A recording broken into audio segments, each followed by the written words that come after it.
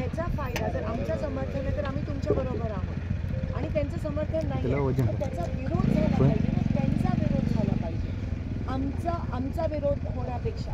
पण नाहीतर आपण एकमेकांसोबत उभे कसे राहणार? अधिवेशनमध्ये बोलायला पाहिजे मॅडम तुम्ही.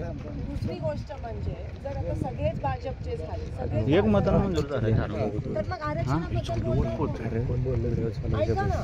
आणि अधिवेशन अधिवेशन तुम्ही म्हणताय तुम्ही बघता का युट्यूबवर लाईव्ह किती वेळा आम्ही बघता की मॅडम. दुसरी गोष्ट जेव्हा आम्हाला बोलायचं होतं तेव्हा राहुल नार्वेकर पूर्ण सगळ्या काँग्रेसच्या आमदारांवर दबाव आणून काँग्रेसने पूर्ण म्हणजे महाविकास आघाडी शरद पवार राष्ट्रवादी काँग्रेस आणि उद्धव ठाकरे गट सगळ्यांना सांगितलं खाली बसा आणि सभा तहकूब त्याच्यानंतर पण आणि अधिवेशनात बोलून काही होत नाहीये. मी तुम्हाला आता सांगतो. कारण का हे भाजप भाजप कोण नाही. नेताच गावात येणे नाही. हा.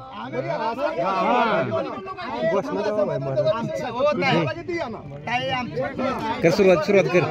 कर सुरुवात. एक म्हणणं आहे एस आय टी चौकशी लावली आहे गृहमंत्र्याला. मुख्यमंत्र्याला. तुम्ही एक पत्र द्या आम्हाला एस आय टी चौकशी रद्द करा मुख्यमंत्र्याला पत्र द्या. आणि आमची दुसरी मागणी.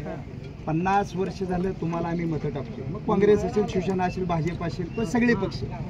आम्हाला पन्नास टक्क्याच्या आत ओबीसी ह्या आरक्षणात तुम्ही आम्हाला पत्र द्या. ही पत्र आहे का दोन मिनटं. ती पत्र आम्ही घेतो. आमची म- म- शिष्टमंडळ घेऊन मनोजदादा जरांगेकडे जातो.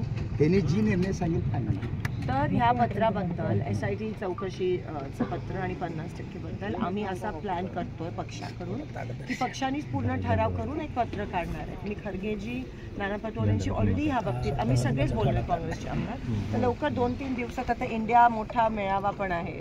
इंडियाचा म्हणजे आपला इंडिया.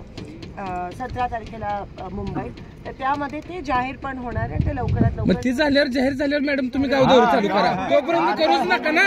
तोपर्यंत करू नका. तो जाहीर झाल्यावर करा गाव दौरा नाही, नाही, गावदौरा म्हणजे हा. काही ठराविकच अ, अ, काय? हे हा. आमचं काय मत आहे माहिती आहे अडचणी का? आमचं कोणाबरोबर. भांडण पण ऐका ना जे तुमच्यासोबत आहेत त्यांना विरोध नका करू फायदा बीजेपी कोणच सोबत नाही. कोण सोबत नाही.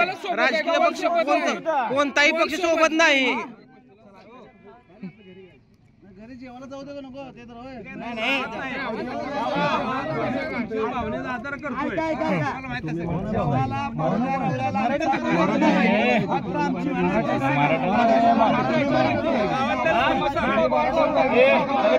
मराठ्याचा असला तर घरी येऊ नका